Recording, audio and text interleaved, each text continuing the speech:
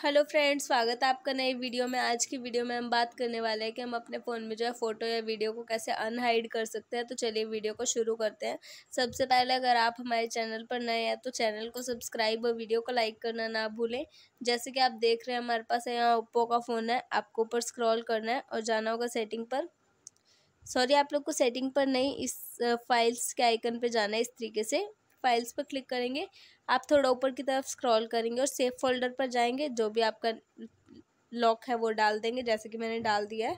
उसके बाद आप जो भी फ़ोटो या वीडियो को अनहाइड करना चाहते हैं, आप उस पर क्लिक करेंगे, जैसे कि मैं इसे करना चाहती हूँ। यहाँ सिलेक्ट करने के बाद यहाँ जाएँगे और move out of the safe folder कर देंगे। उसके बाद आप यहाँ देख सकते हैं, इस तरीके से आपके फ़ोन में या कोई भी फ़ोटो या वीडियो है, वो इस तरीके से अनहाइड हो जाएगी। तो उम्मीद कर सकते हैं फ्रेंड्स कि आपको वीडियो पसंद आई होगी। वीडियो पसंद आई है तो चैनल को सब्सक्राइब और वीडियो को लाइक करना ना भूलें।